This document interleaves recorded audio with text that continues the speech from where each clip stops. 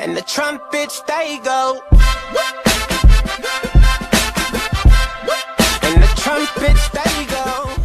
Hola monstruos chavales, soy Basu y os traigo un nuevo vídeo GTA 5 online y este vez amigos, como estáis viendo, estamos aquí en la actualización 1.18 y es que hoy os traigo un trucazo completamente nuevo de dinero infinito sin ayuda que funciona para todo el mundo, ¿vale? Ya que siempre me lo pedís, aquí lo tenéis chicos y funciona para PlayStation 3 y Xbox 360, ¿vale? Aunque tengo que decir que los antiguos trucos siguen funcionando, pero este es mucho más fácil.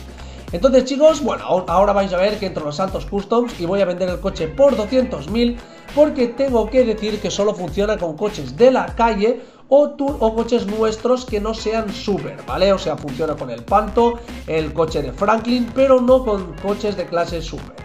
Dicho esto chicos, empezamos con el truco Entonces chicos, para hacer este truco los requisitos son muy muy fáciles Lo primero vamos a estar en una sesión por invitación o en solitario, ¿vale? Después chicos vamos a tener un único garaje y como estáis viendo tenemos que tener una plaza vacía y el otro requisito es tener el coche tuneado a tope, ¿vale? Entonces chicos vamos a sacar el coche del garaje que vamos a hacer el truco porque tan solo necesitamos un garaje, no hace falta que tengamos dos y lo vamos a colocar exactamente como lo voy a colocar yo ahora mismo, ¿vale? Voy a repetir chicos, como estáis viendo el garaje, he sacado el coche del mismo garaje, estoy en una sesión por invitación o en solitario y necesitamos tener un hueco en el garaje y tener el coche tuneado a tope. Entonces lo sacamos fuera y lo colocamos como lo pongo yo. Entonces chicos, ya una vez tenemos el coche bien colocadito, lo que vamos a hacer es robarnos un coche de la calle. Entonces chicos, ya una vez tenemos el coche de la calle, necesitamos tener nuestro personaje sin dinero y una vez ya lo tenemos sin dinero, vamos a empezar con el truco, ¿vale? Entonces chicos, lo primero que vamos a hacer, vamos a llamar a Meriwether, tengo que decir que este truco es diferente, ¿vale? No es el que parece, vamos a llamar a Meriwether y una vez nos salga la lista, ¿vale? De las opciones de Meriwether, vamos a acercar el coche a la puerta de nuestro garaje hasta la línea, ¿vale? Lo dejáis exactamente como lo dejo yo y entonces nos vamos a bajar del coche.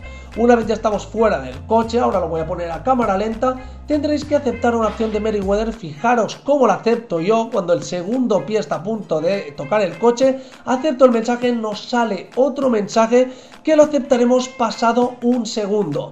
Al aceptarlo chicos, esto nos va a mandar a PlayStation Store o la tienda de Xbox, una vez se carguen las tarjetitas cancelamos y ahora vais a ver que aparecemos fuera de nuestro garaje y tenemos que subirnos muy rápidamente dentro del panto.